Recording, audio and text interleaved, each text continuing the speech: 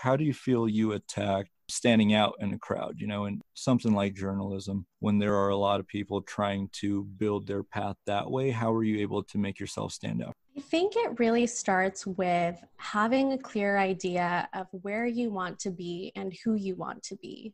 So that for me meant speaking to different news anchors and news reporters in the area who I had access to. And that helped me figure out what type of role I wanted to get later on. And so once you define what your target is, you can actually reverse engineer and figure out what are the steps that you need to take to get to that position.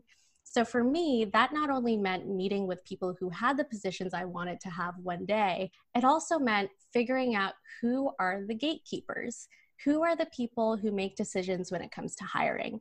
I found them and I spoke to them. And I just asked, what are you looking for in a potential reporter?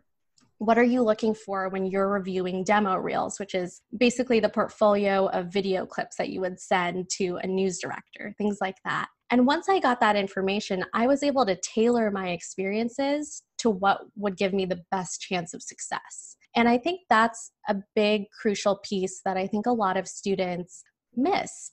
These are different steps that I think if you just invest a little bit more time every week or every month trying to do a little bit more than what your competition is doing, it will absolutely set you apart.